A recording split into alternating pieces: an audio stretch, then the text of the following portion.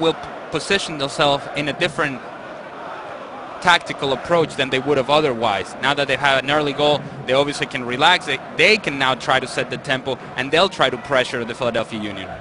Williams, teasing ball in, that's flicked over. Played over to the far side, and the Union have tied it up with a McInerney goal. Well, we highlighted the two strikers at the top. They both delivered, and it's still in the early stages of the game. Game's not even five minutes old. We're geniuses, JP. well, all right. We're smart. We're smart early. Well, I got I got to tell you, he's falling as he shoots. The marking in the box for for both teams has not been very good, but in this case, good look in the rebound by Michael Farfan. Sees Jack McInerney wide open. And what does Jack McInerney do every time he finds himself open in the box? He scores goals.